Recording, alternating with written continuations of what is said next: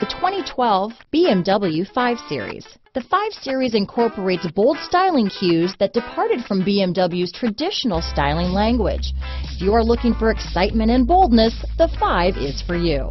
This vehicle has less than 55,000 miles. Here are some of this vehicle's great options.